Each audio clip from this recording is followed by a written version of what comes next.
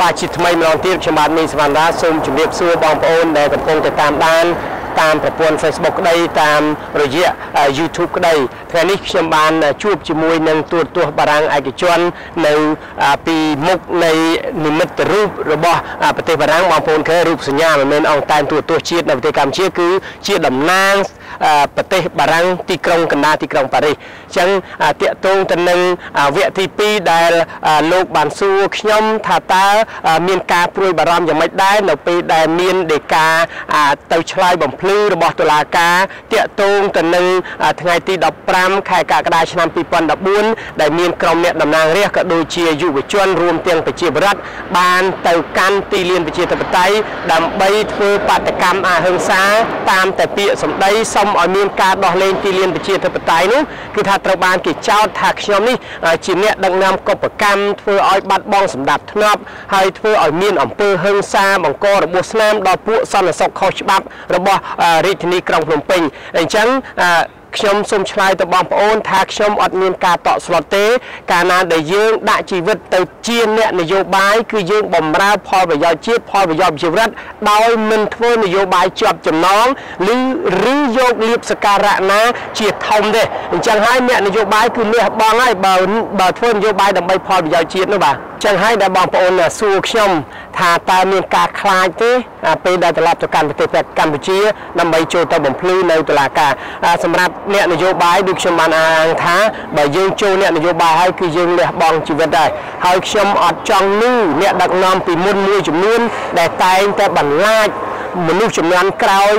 និស្សិតបញ្ញវន្តចំនួនក្រោយយុវជននាំក្រោយនឹងកុំឲ្យខ្វល់ពីរឿងនយោបាយហើយក៏តែនិយាយថាអ្នកនយោបាយបើធ្វើនយោបាយបើមិនជាប់គុកស្លាប់ឬក៏រត់ចោលស្រុកអញ្ចឹងក្នុងនាមខ្ញុំបានមានស្មានថាខ្ញុំចង់ឲ្យទម្លាប់ដែលដែលបន្លាចគ្នានោះដែលចង់តែបានអំណាចខ្លួនឯងយកមកធ្វើអ្នកធំហើយមិនបានគោរពដល់ប្រជារដ្ឋឲ្យវាប្រែត្រឡប់ទៅជាថាអ្នកនយោបាយគឺរក្សានៅសេចក្តីថ្លៃថ្នូរជានិច្ច ទោះបីមានអំណាចហើយយើងត្រូវយកអំណាចទៅធ្វើដើម្បីផលប្រយោជន៍ជាតិផលប្រយោជន៍ប្រជាពលរដ្ឋកុំឲ្យប្រជាពលរដ្ឋនេះមានទុកទោសមានវិបត្តិក្នុងសង្គម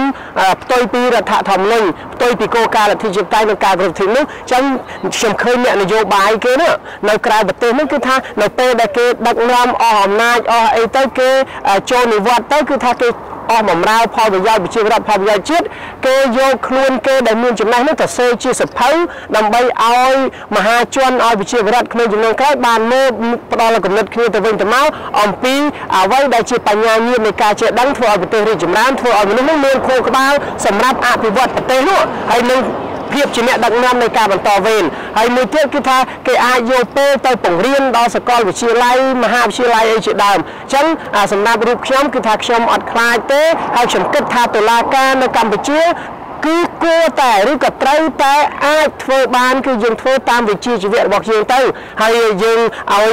រដ្ឋាភិបាលឲ្យអ្នកដឹកនាំមានអំណាចនឹងយក តុលាការធ្វើជាចំណាប់ខ្មាំងនយោបាយធ្វើជាចំណាប់ខ្មាំងសម្រាប់គម្រាមកំហែងដល់អ្នកតស៊ូមតិដែលគេគ្រាន់តែនិយាយគោរពតាមគោលការណ៍លទ្ធិជាតិតៃតាមបែបអហិង្សាទៅជាខុសអប់រំមនុស្សឲ្យយល់ពីសិទ្ធទៅជាខុសដែរអានេះខ្ញុំអត់យល់ថា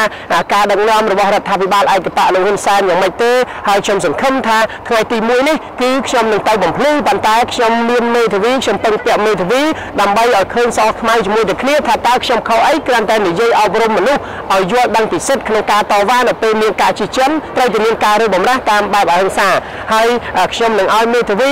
ធ្វើលិខិតទៅទៅចៅក្រមស៊ើបអង្កេតលោកកៅ កៅមនីនឹងតាក់ទងទៅនឹងអាការដែលគាត់ទៅសេឈ្មោះខ្ញុំខុសទៅសេអាយុមុខងារអាស័យដ្ឋានមិនដឹងឯណាណីអានឹងក្នុងក្នុងនាមជាអ្នកច្បាប់គឺគេប្រយ័ត្នប្រយែងនៅប្រទេសអាមេរិកដែលខ្ញុំធ្លាប់រៀន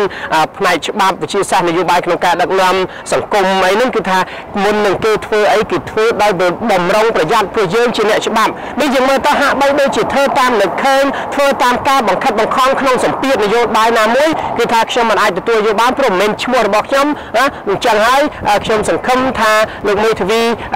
ចៅក្រមស៊ើបអង្កេតលោកកែមនីនឹងមានទំនាក់ទំនងជាមួយនឹងមេធាវីផ្ទាល់ខ្លួនរបស់ខ្ញុំនៅសប្តាហ៍នេះហើយថ្ងៃនេះខ្ញុំធ្វើ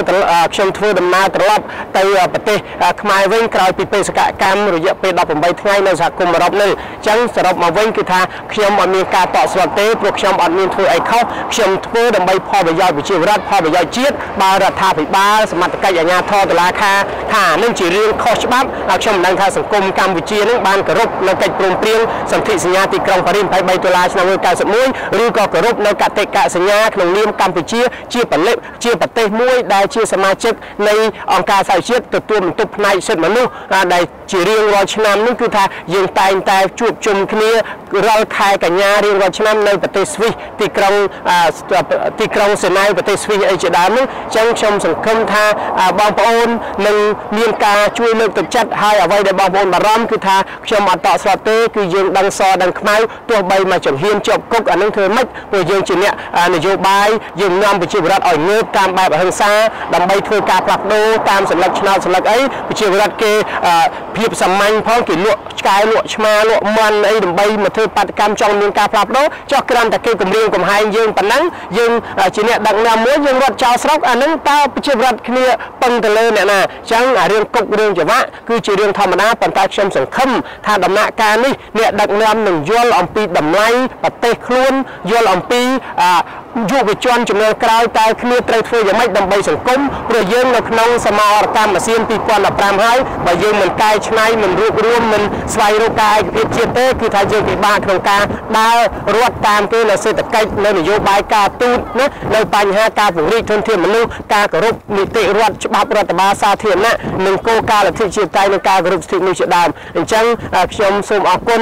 បងប្អូនខ្មែរនៅក្រៅប្រទេសដែលមានការបារម្ភជាពិសេសយុវជនដែលកំពុងទៅតាមដាន Facebook រាប់សែននាក់នៅប្រទេសកម្ពុជា ដែលបារម្ភចំពោះរូបខ្ញុំខ្ញុំសង្ឃឹមថាបងប្អូននឹងជួប នៅអ្វីជាការតស៊ូឡើងកុំមានការតក់ស្លុតដើម្បីការផ្លាស់ប្ដូរសម្រាប់ជីវិតយើងសម្រាប់កូនចៅយើងសម្រាប់ជាតិយើងដើម្បីផលប្រយោជន៍នៃសេចក្តីសុខឯកភាពជាតិគ្នាបានយើងទៅដោះអវិបត្តិសង្គមផ្សេងផ្សេងជាមួយនឹងប្រទេសជិតខាងបញ្ហាព្រំដែនជនអន្តោប្រវេសន៍អំពើពុករលួយកងកម្លាំងបដាល់អាវុធត្រូវឯករាជ្យនិងបញ្ហារំលោភបំពានដីធ្លីសិទ្ធិក្នុងការរស់នៅរបស់ប្រជាពលរដ្ឋសិទ្ធិក្នុងការនិយាយស្ដីគឺថាគេកំពុងតែគៀបសង្កត់យើងបើយើងអត់ឯកភាពជាតិនេះទេគឺថាប្រទេសយើងបារម្ភដោយប្រទេសលាវដោយប្រទេសចម្ប៉ានិងកម្ពុជាក្រោមដែលបានបាត់បង់ជាបដាបណ្ដាបាទសូមអរគុណបាទចេញតែចេញ